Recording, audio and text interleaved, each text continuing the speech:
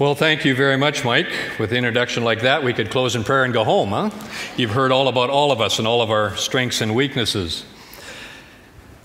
A few years ago, I was at a leadership seminar down at First Alliance Church by uh, Bill Hybels, and uh, he made this statement. He said, You know, if you have something that's worth doing, you should be able to do it simple enough to put on a napkin. He said, You should be able to sit in a restaurant and take a napkin and with a little pen or a pencil, you should be able to trace out uh, very quickly and explain to somebody something that is important to you. I brought my napkin with me this morning, okay, just so you could see it. And uh, this is kind of a visual reminder to me as I preach that uh, the three dimensions that he's already mentioned are really important if we are going to grow as people, if we are going to thrive, as we have just heard. You know, I think that it's uh, God's plan that all of us continue to grow, that we don't reach a plateau in our life where life kind of gets boring again and we just kind of put our, our spiritual lives in cruise control and carry on with life as usual. God wants us to be integrally, integrally, is there a word like that? Involved with Him. He wants us to also make sure that we're reaching out in an integral way to people who are around us. And today we're going to continue our series and uh, talk about the pursuit of life to the full. And as Mike has already introduced, we want to start with the up part of that triangle. To do that this morning, we also want to look at two different tests. Actually, we're going to look at three tests. What do I mean by tests? Well, you'll see in just a minute. I don't know about you, but I'm one who doesn't really and never has really liked taking tests. Is there anyone here that likes taking tests? Oh, there is a few. I know there are. Those, uh, those kind of people come to me for counsel all the time. No, I'm just kidding.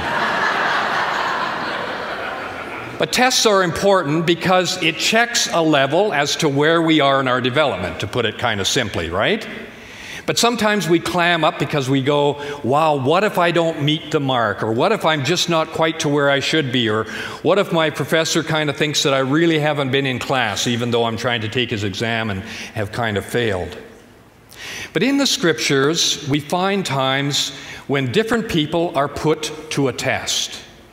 And this morning we want to look at just two of those.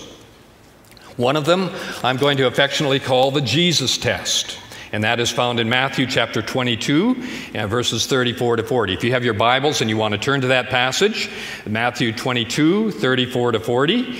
And then a little later on in the time that we share in our teaching time this morning, uh, uh, we're going to be looking at the story where Jesus himself gives a test to his uh, probably closest disciple, Peter. And it's a story that's well known where Jesus kind of runs him through a test and three times asks him, whether he is in love with him, whether he loves him as his master.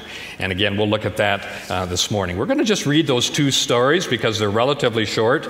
And then we're going to move as we uh, do our teaching time this morning. We're going to look at the upward dimension that is taking our hearts and taking our lives and falling in love with Jesus in a passionate way. Let's look at the Jesus test first Matthew 22, 34 to 40. This is what it says Hearing that Jesus had silenced the Sadducees, the Pharisees got together.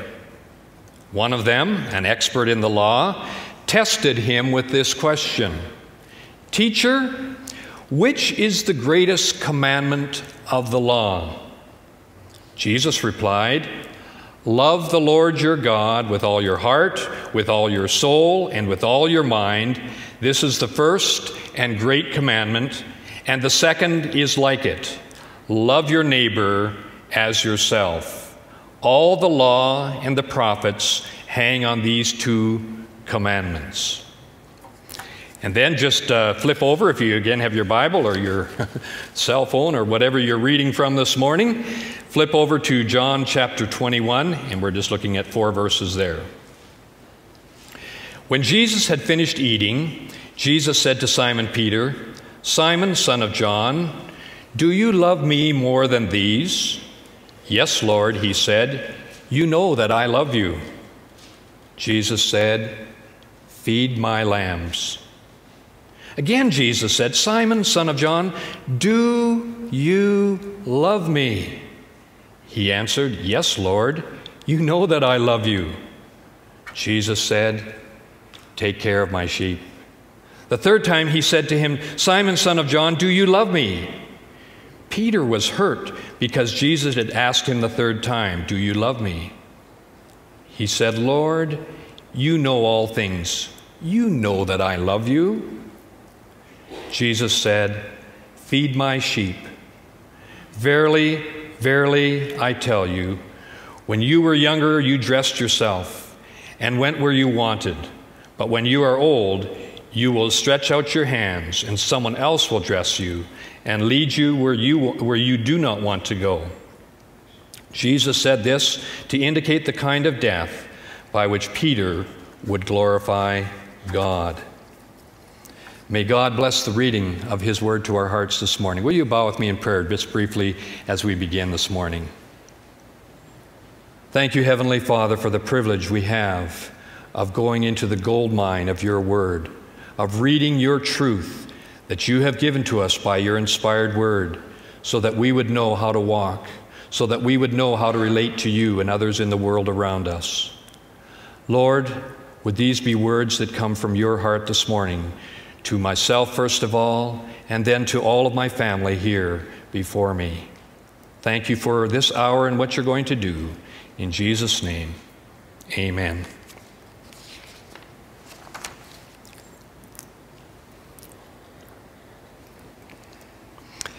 As a pastor and as a counselor now, as I move more into the counseling area in the last part of my career, uh, I have the opportunity of working with usually young couples, not always young, sometimes in their later life as well, but usually young couples who have recently fallen in love. I love working with couples that have fallen in love because they kind of, for a period of their life, check out of ordinary, everyday, mundane living and kind of get hit with this shell shock of love, whatever that is. And uh, they're kind of on zombie street for a while until they all of a sudden realize that they need to come back down to the real world that they live in. I have made a few observations as a counselor. I do a lot of uh, pre, um, uh, pre-marriage counseling where we will talk with uh, couples that are getting ready for marriage. And often when they come to my office, I will notice that uh, there's a few things that are kind of common denominators. They are usually, I just wrote a few of them down here. They are usually to some degree a little unrealistic and perhaps a little out of control. Blind may be a better word. In fact, I had a counselor say to me the other day, marriage is a wonderful institution. And then he said, institution of the blind. Because sometimes, as we're kind of caught up with this person that we've fallen madly in love with, we're not maybe as realistic uh, as we should be. Nothing wrong with it, it's just the way it is. They may be temporarily, paralyzed by this thing called love. They may be somewhat short sighted as they think of this person who has dropped into their life and uh, they're excited about the fact of marrying this person. Often they have trouble defining what they're going through, especially what it is to really be in love.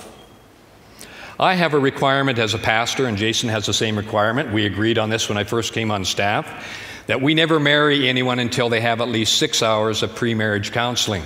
Why do we do that? Well, we work in the business of marriage from every section, kind of.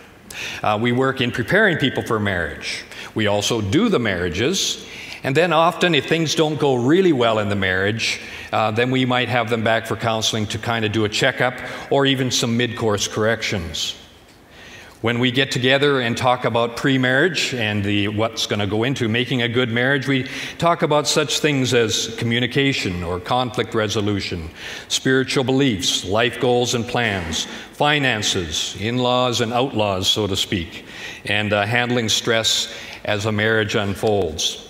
I love to see that because what I always do whenever we have a, a, workshop or when I'm starting off a counseling session, I will ask this question I will say to them simply, My dear friends, how do you know that you're in love? Often, so some of you have already got a preview if you're going to get me to do the pre marriage counseling for your marriage. You can work on that. But I often get some pretty interesting responses. These are some of the ones over the years that I've received.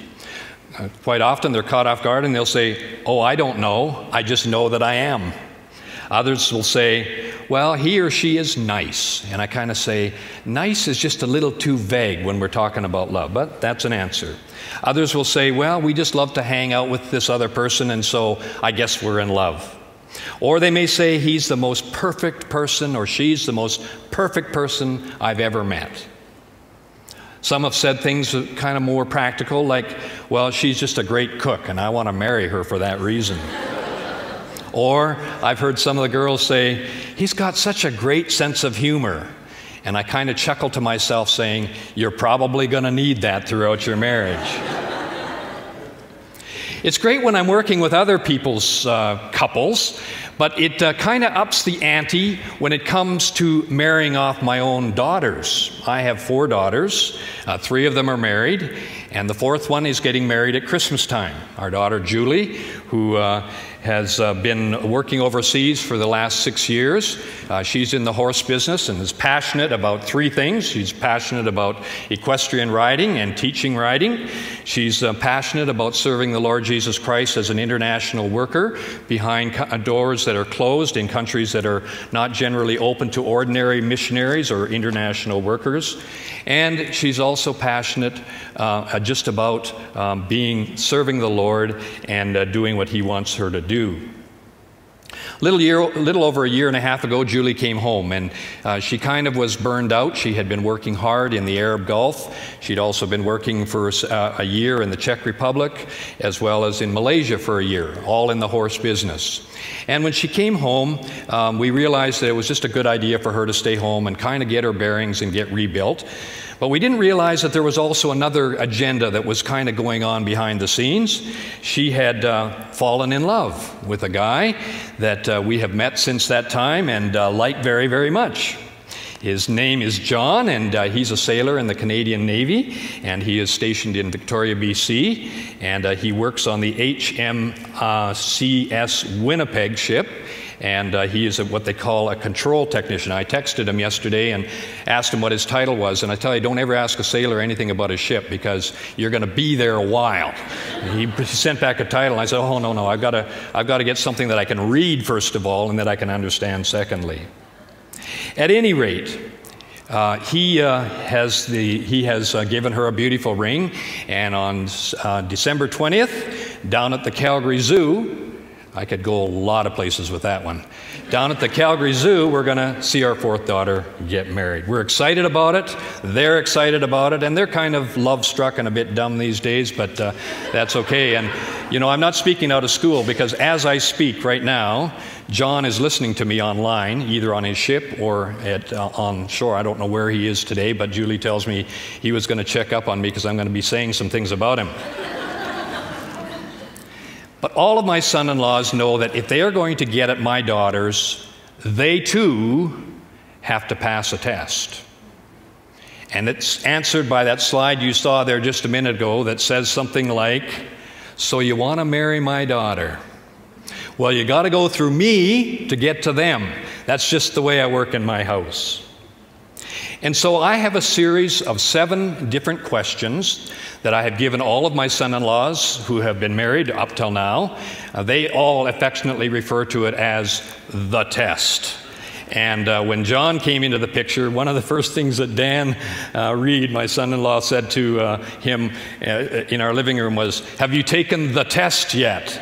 And he said, I don't know what you're talking about. He said, Well, you better talk to Larry about it.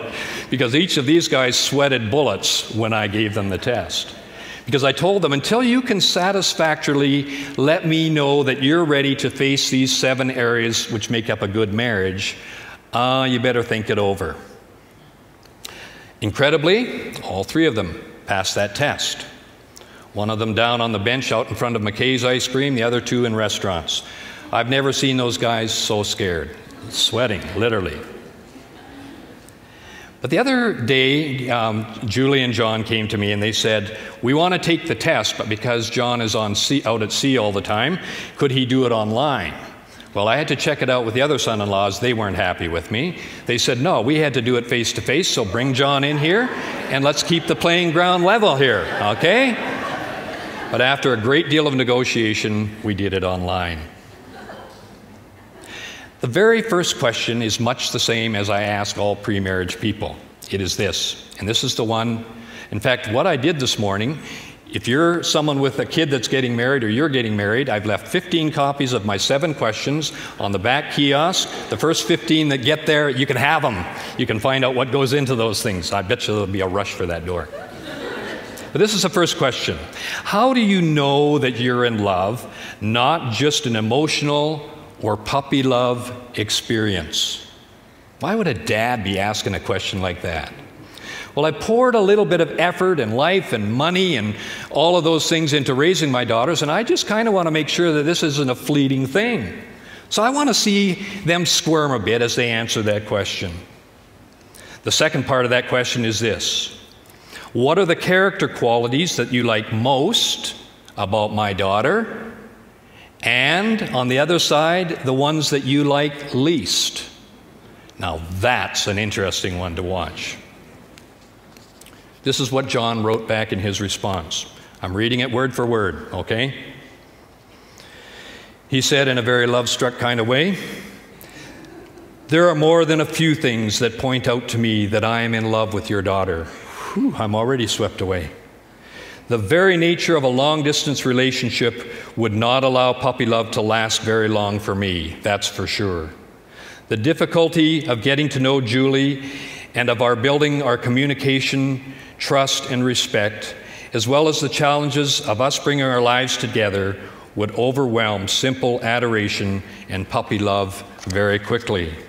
Over the last 33 years, I have come to learn a lot about who I am, about things of my, of, of my own feelings and thoughts, as well as my feelings for Julie. I know that these deep feelings are more than a simple crush or even lust. What I like most about Julie is her warm and caring nature, her strength and her independence, her fiery spirit, and her sense of just being alive. Wow, that's a true romantic speaking, don't you think? As for what I like dislike, and now he starts to hedge just a bit. I have to admit that I have always been a person who just takes people as they are and kind of sees them as a whole beautiful person, flaws and all. And that guy should be a politician when he's done. Working to, be, to bring lifelong love and romance is action and commitment that I want to communicate to Julie. Oh, by the way, the third part of that question was, uh, and this is what he's writing about, was I say, what do you plan to do to stay in love? Because I often have people in counseling say to me, well, I fell out of love. And I go, well, you better get back in if you want this thing to last. So you better have preventative maintenance rather than try to come back to it later. So he says, my plan to make sure we stay in love is by making a lifelong effort one of the biggest things that I've learned as a Christian is that love is not just a passive feeling that comes to you, but something that has an action component. Working to bring lifelong love and romance is action, commitment to communicate to Julie in her love languages and to stand by her and never give up on us. By very nature, love will mature and grow and change over time, and we should not fight it, but rather embrace it. How do you think he did? Pretty good? Yeah? I thought he did just real fine. Because I think what, what he has done is he has said, I realize that to make a good marriage, it's going to be a hard thing. I realize that we're going to have to work at it. But you know, as we start talking about our relationship with Jesus, he wants us to continually fall in love with him. I'm not being irreverent when I say that. But Scripture is full of the fact that this triangle, this triangle that is carefully put out in that little napkin that I have, is kind of has kind of an order that he wants us to follow. The up is the first part of our relationship. For Scripture makes it very clear that Jesus wants our devotion and our loyalty to be to Him first of all. He wants us to make sure that we know that we are, first of all, in love with Him and that we are living in a relationship with Him that is centered around being totally in love with Him in various aspects of our life. When Jesus was asked, What's the greatest commandment?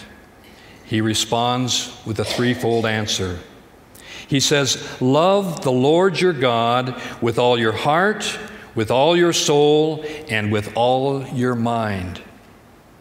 You see, if we as, as people are going to flourish with others around us, God has made it very clear that His pattern in Scripture is that He wants us to seek Him first. Often, when we talk about the attributes or the character of God, we say that God is a jealous God. And that doesn't mean that He wishes He had what we had. It means rather, He actually covets our relationship with Him. He wants us to draw close to Him and passionately follow Him with our whole heart. Let's just break down those three phrases real quickly as we look at this this morning. First of all, He says, Love me with your whole heart. In reading a commentary by Eugene uh, Peterson, the one who wrote the message, he says that the word there in the original language kind of has a sense of, I want you to love me passionately. It's not hard when a couple falls in love for them to passionately love each other because there's just that glue of love that's pulling them together, kind of like two magnets. But God says, I want you to love me with your heart. And the metaphor there is the, picture of a human heart, which without a heart, you can't live. I've found that very, very quickly. I've had some heart trouble here recently. And after all of those tests and looking at some of those uh, uh, tests coming back and actually looking at my heart pumping on a TV monitor one time, I realized that, wow, that thing's been working a long time. And so far, so good. But without some corrections, I'm going to have big problems. Why? Because we need a heart to function. God says simply, my friends, if you are going to have that upward focus, if you are going to put me first, you need to love me passionately with your whole heart. When I was in high school, I had a mentor in my life, and he gave me a card. He calls it the three A's. On there were three A's, and beside each of the A's were something that corresponded with each of them. It simply said this anything, anytime, anywhere. And then on the bottom of the card, it said, Lord, I am willing to follow you in obedience.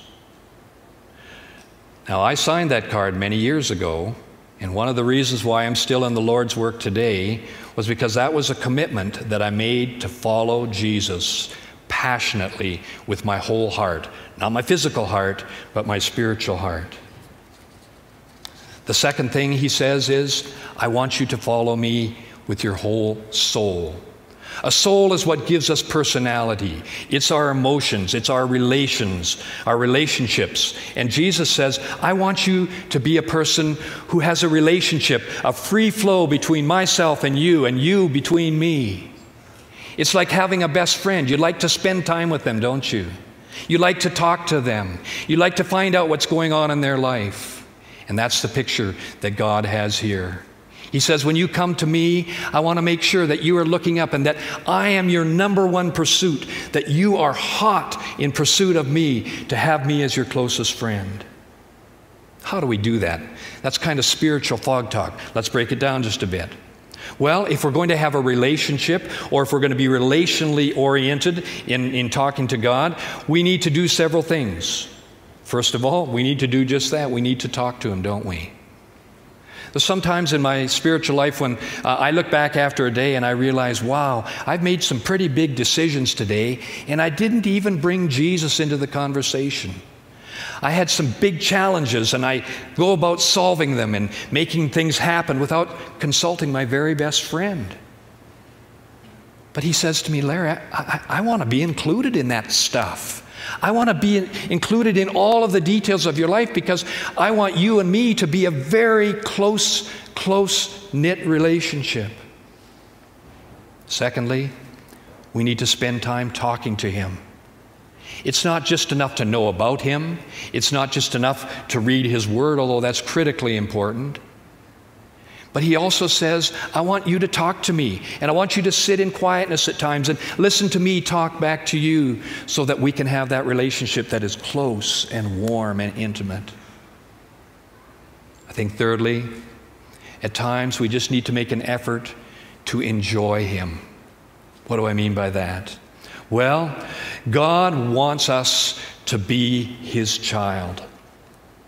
And the incredible mystery in all of this is that the God who created this amazing universe that we live in covets a close relationship with you and with me. And so he says, Sometimes I just want you to enjoy me. And each of us may do that in different ways. I'm one who loves nature.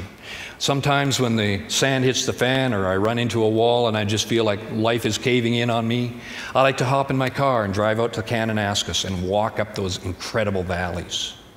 And I talk out loud to God. If anyone saw me, they'd think maybe I'd lost it. But that's okay. I want to just enjoy God. I want to enjoy being in His presence and letting Him speak to me. Finally, we see that God wants us to love him, love him with our mind or intellectually. You see, our upward focus on God also relates to our intellect, intellect or how we think. It's not just enough to love God passionately or with our souls. He also wants us to use our minds to approach Him and embrace Him. I love that uh, passage that we know well in Romans 12, 2, where it says, Do not conform any longer to the pattern of this world but be transformed by the renewing of your mind. Then you will be able to test and approve what God is, His good and pleasing and perfect will. In counseling circles, even in secular counseling circles today, there's a lot of talk about helping people who are stuck. They're stuck with some problem to learn how to think differently and I kind of chuckle every time I read one of these secular theorists because I go, You stole that from the Bible. Because God has said all along that if we're going to be passionately in love with Him, that our minds need to be changed so that we think like Him in everything that we do. Yes, He wants us to be changed intellectually. But then those Sadducees and Pharisees finally ask Him, Well, that's great. And Jesus knows what he's thinking, and he jumps in and he says this.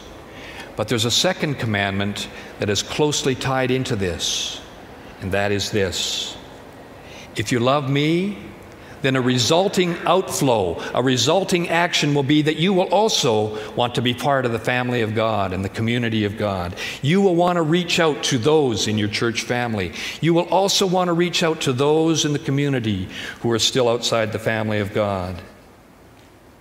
Yes, the first component in living life to the full is pursuing God, looking up to Him, and saying, God, I love you more than anything else in the world. I love you with my heart, with my soul, and with my mind. But then Jesus jumps in and says to us, Well, that's great, but you haven't finished the course. Because if you do that, then you need to move on to the other two parts of that triangle, and that is to pursue others. To pursue others in community. To pursue those in the in category, and then those in the out category. I love that story that we read, and with this we close.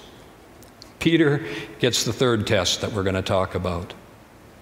You remember that Jesus had just risen from the grave. The disciples were totally devastated.